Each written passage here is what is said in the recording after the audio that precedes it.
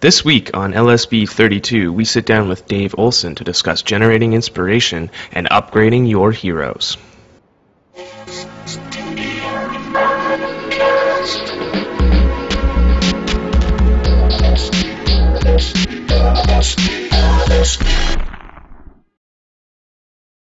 All right. So um, thanks so much for coming in to, uh, to talk with us this week, Dave. It's uh, like I said, I was so inspired by your talk at, uh, the Island Tech Conference a few weeks ago. I was really looking forward to kind of bringing you in and you know getting this, some of this stuff on camera because I think there's probably a lot of people that may not have seen you talk or may not know who you are, and I, I think everyone should should hear what you have to say. Yeah, I kind of keep hibernating a little bit. I only bust the, the talk out at, at the, the gig in Victoria at Island Tech. It was really the third time I'd given that, more or less that same talk, but those three appearances are spread over two and a half, two and a half Yeah. years, and and that was a little bit of a different audience because there was a lot Definitely. of a lot of suits in that audience, and I was like, oh geez, are they gonna laugh me out of here? But uh, fortunately, we hit our stride and it went all right. Yeah, totally, totally.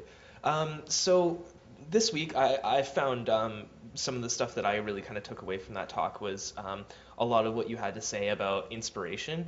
And I know personally, like um, as I was kind of telling you um, in the kind of precursors to this, um, was that like I find like I've been on kind of a, a bit of a personal journey lately about um, trying to think about ways about like how I generate inspiration and how I can really harness that power and um, you know really find ways that I can kind of tap into that on demand instead of having it be something that kind of uh, it comes when it comes. And um, I found you had a lot of really great things to say about how to kind of harness that power and, and be able to kind of generate that stuff on demand. Well, something I've thought about a lot because I've gone from So um, from you know making creative projects ever since I was a kid, where you have lots of time to do stuff, to doing stuff. You know, my teens where it started to feel like, oh, I got where you start to self-impose deadlines and start to put pressure on yourself. Yeah. And as soon as you put pressure on yourself, the creativity is that much harder to, to foster and, and identifying that. And then, you know, once I got in my 20s, I spent a lot of time hitchhiking and following the Grateful Dead, and I had lots of downtime to be like, oh, I want to write some poetry, man. I'm gonna just like walk in the hills for two days and sit around the campfire, maybe trip out, and, Yeah. you know. And there's all these ways that you can, you know, from excess and time that you can kind of reach that point. But you know, now that I'm an older dude, and I got a day job and a family, and and you can't you can't really afford that time. But it, there's still these ideas that you want to pull out. So I started to really identify, or you know, what are these things that get me to that point where the content starts coming out, rather Yeah. than being stuck over here where you know, there's that conundrum of the blank page syndrome. What do I do next? I'm feeling uninspired and burnout because, I mean, my goodness, do it. I, I know what the burnout feeling feels like Yeah. uh, from you know the end of the day. You've ridden the bus home. All you want to do is sit around the fire and. Um, and, and, and relax. But at the end of the, you know, if you do that too much, then you start losing what it is that you have. So I started to identify a few things that for me were the things that kind of put me into that, that groove to, to create, to, you know, to make my art. That is environment, it's really key. And I always find a place in my house that I set up as a studio space. You know, it doesn't have to be stunning, but the important thing is that you have um, a sense of comfort there and surround yourself with things that jog the memories from where you were and what you were because there's all these times that you're like wow if i could always remember this i'll totally like i'm gonna down the road i'm gonna and all these little things. And it's a lot of ephemeral objects like ticket stubs and and you know from events or travel or stuff I picked up off the ground, found objects, or an ad that I tore out from a magazine in some country and stuck in a thing. Yeah. Somehow for years it survived. It's sort of like sending little messages to a future self. And then I get to a point where I arrange them in binders and I, I flip through them and sometimes they don't make any sense. But three years later I'll look at the same thing and go, oh yeah, okay. Or, you know, it's kind of surrounding yourself with source material. Yeah.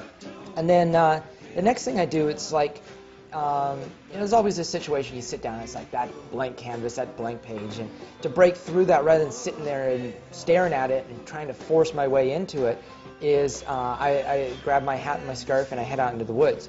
Try and bring a notebook along, or else I, uh, you know, I do a lot of audio recording, uh, and so I'll take my little audio recorder with Yeah. me, and I'll go out there with some medium or another, and it really doesn't matter as long as you have some way to fiddle, um, and it's a way of kind of connecting your subconscious with your hands and trying to bypass the, the, the conscious self-evaluative thought, which is stuff like uh, my, you know, my day job, like, oh, I gotta get that done, my huge tax bill, I got, you know, all these things you have to bypass here, get it right to your hands, Totally. um, and to kind of build up a little sense of trust with yourself. And once that happens, bam, man, the next five hours doesn't even exist because you're floating on air just making tons of stuff. And this Yeah. kind of led me to a sense that you know, there's, there's that old saying about uh, success comes from 10% inspiration, 90% perspiration, the old Protestant work ethic. Yeah. You just got to grind through it. And I was like, wow, that's totally not how it works for me, man. It's like I can perspire all I want, but that doesn't get me, you know, Yeah. very far. So I really put together my own formula, which is about 80% meditation. And this is, you know, I'm not sitting on the, the hill with the Bhagwan, you know. Um, you know, this is walking in the woods. This is clearing my head to think about it. And this also happens on the bus, you know, riding on the C bus where I can just shut my brain down and there's nothing I can do, per, you know, so I'm just going to think about what I'm going to make. That combined with uh, 10% um, execution, the actual, the actual time I spend making the stuff, putting the words on paper, is a fraction of the time that I spend thinking about it. By the time I sit down to write things, I know exactly where I'm going to go. I, I have little signposts put up in my head mentally where I can see down the road, but all that fill-in space, that's that's where the that's where it happens, right? Yeah.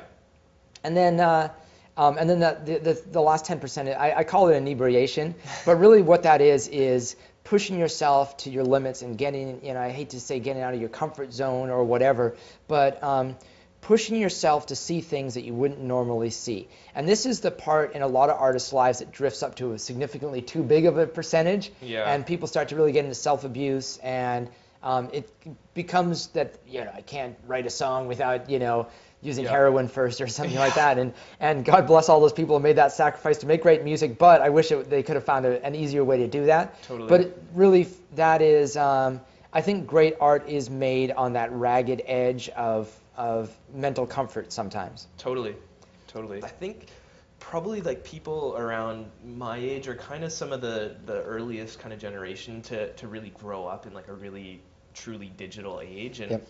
One of the things that I've been seeing with a lot of my peers and people who are kind of my age or younger is that they be they're people seem to be so focused on like now and what's next and I don't really find that in like these new generations there's a whole lot of like reflection or interest in kind of necessarily going out and experiencing all that the real world has to offer.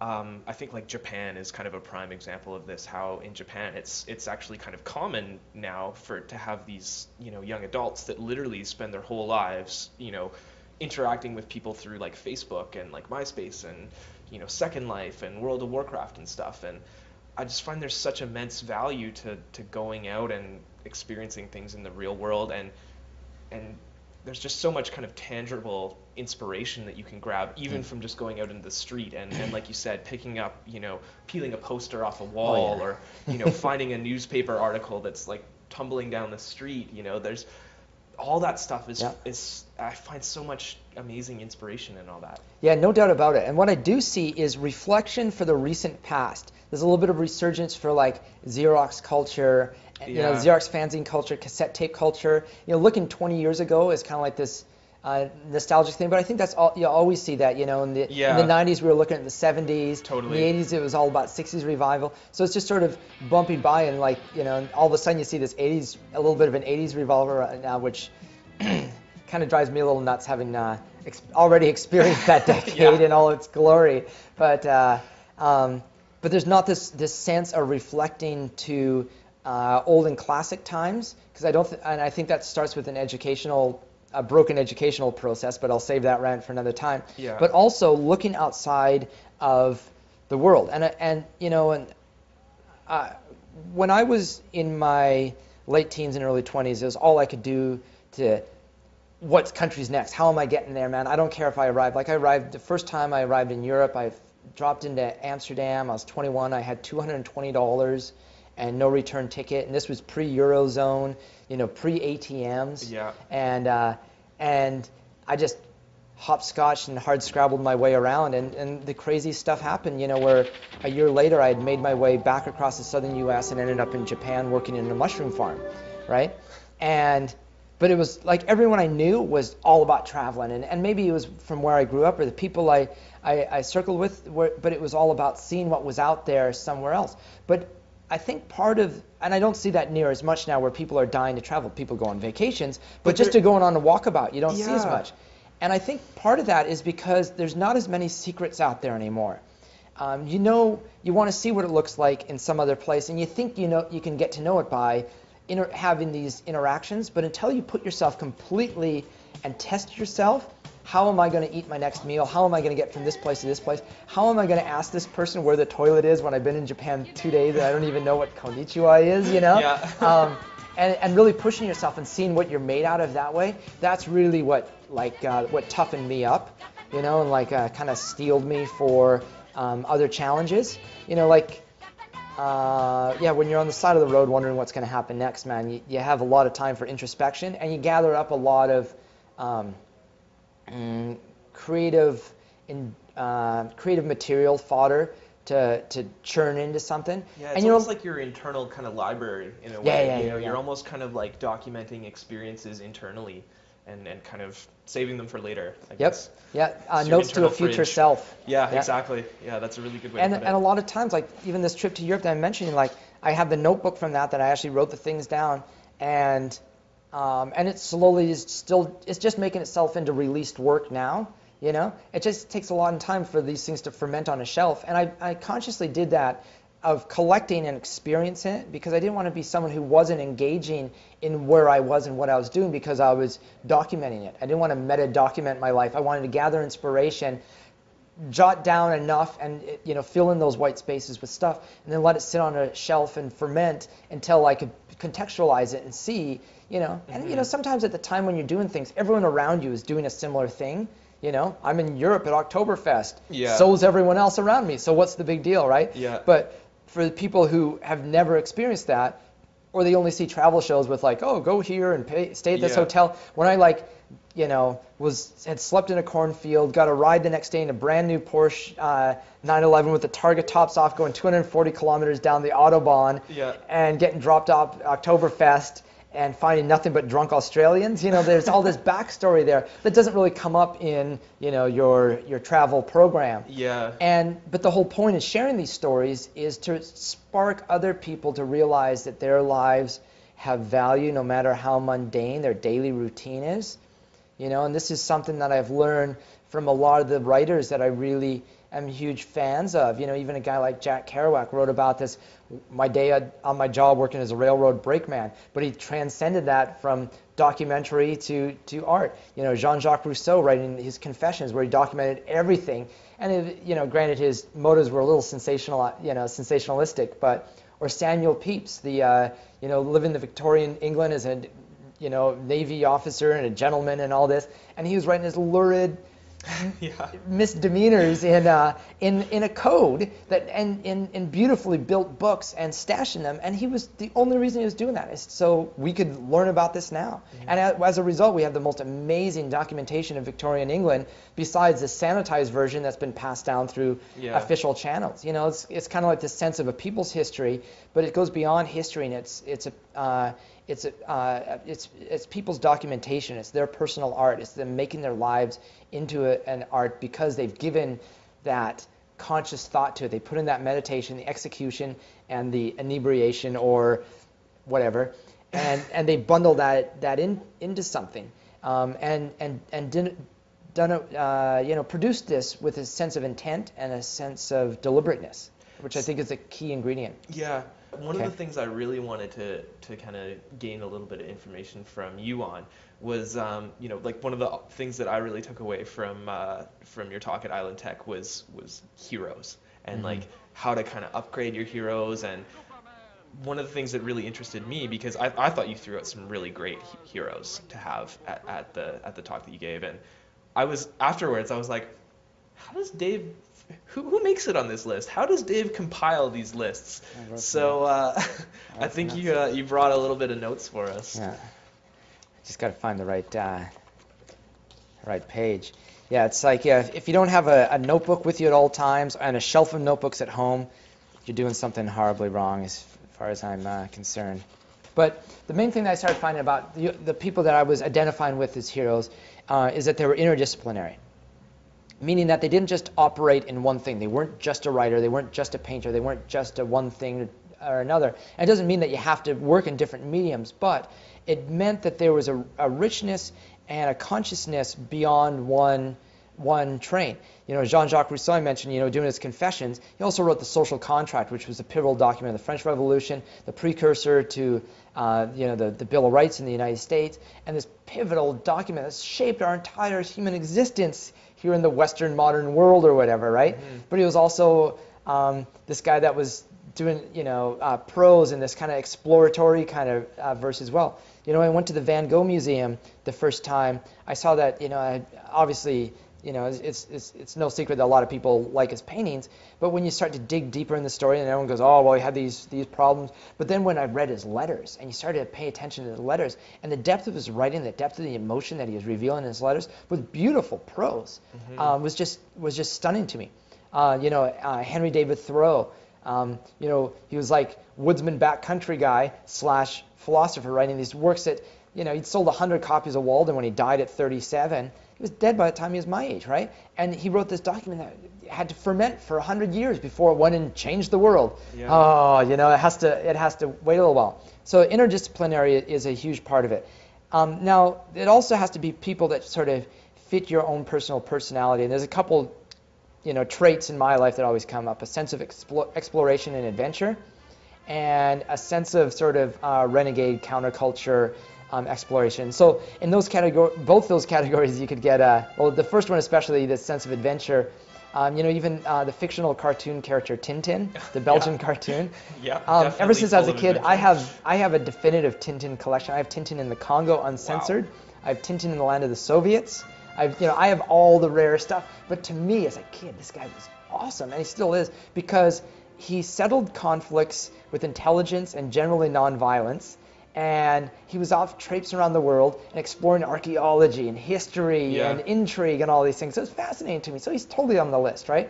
The second one, you know, more this renegade counterculture style, you know, a great example would be uh, Hunter S. Thompson. Yeah. A journalist, and you know, I dressed up as Hunter S. Thompson for Halloween this year. I cut my hair and did the whole thing. When I shot and found the right glasses, I had the cigarette holder, and I'm and I'm out to dinner, and this guy at the table next to me is like, "Dude, I know who you are you're Johnny Depp in Fear and Loathing in Las Vegas. I'm like, yeah, dude, Hunter Thompson. Who? Yeah, dude, Fear and Loathing, man, I love that. Yeah, Hunter Thompson. He was the guy that Johnny Depp. Yeah, Johnny Depp, man. That's you know. Um, but the thing that I, was so incredible at Hunter Thompson, and I bring him up a lot because the guy always stayed employed um, no matter how much he messed up, because the guy was solid at his craft. Yeah. You know, and he was always writing for whoever, wherever. You know, he finished his career writing for Sports Illustrated online or ESPN online rather, and you know, this is this guy is really one of the pivotal political journalists of the 60s and 70s. He was the one that really made Jimmy Carter's presidential career relevant. You know, the guy did incredible stuff they never get, you know, credit for because the reputation as a party overshadowed it all. Yeah. But he scratched below that surface, and there was all this other incredible stuff that he was doing. And then in ESPN, the day after the 9/11 thing in, in, happened down there in the states in 2001, he wrote what I think is still the best thing written about that entire incident. And he predicted the next 10 years. And if you go back and read his thing, we're like right along his pathway, right exactly how he predicted it. And he could run up $10,000 room service bills because at the end of the day, man, he killed it when it came down to sitting in front of the typewriter and busting it out. Um, so bam, he's on the hero list. Um, but it's not just historical, well-known people. You know, there's uh, a local musician named Geoff Berner who's totally made it onto the list. He's a renegade, uh, renegade accordion. Well, I add the name renegade, but he's an accordion klezmer player. But he's this hilarious guy. Go see him live. He's got an accordion, a djembe drum, and a fiddle up on stage, right? The guy's got a cocktail in his hand. He's like Frank Sinatra with an accordion singing drunken, uh, you know, Jewish klezmer tunes. And out of some kind of like, you know, Quentin Tarantino should have had him soundtrack Inglourious Basterds kind of thing. He's just like, this guy's come from another age. But the, uh, so I got on, you know, I started following on stuff. And the guy goes on these epic tours through Scandinavia and through Europe and writes these incredible reports from the road about exploring diners and the importance of not eating at Tim Hortons when you're traveling across Canada. And he's out there and he's totally living the dream but he's doing it with the freaking accordion, man. And it's not Weird Al Yankovic accordion. He's doing singer-songwriter stuff that's way out there as an accordion player. And it's like, wow, that's a guy that I like is doing something just stunning to me. And there's other people like, um, you know, I have uh, a couple of friends that um, when I first was a, a, high school dropout going to community college in Utah of all places, I felt like, you know, I, I was totally out of my element.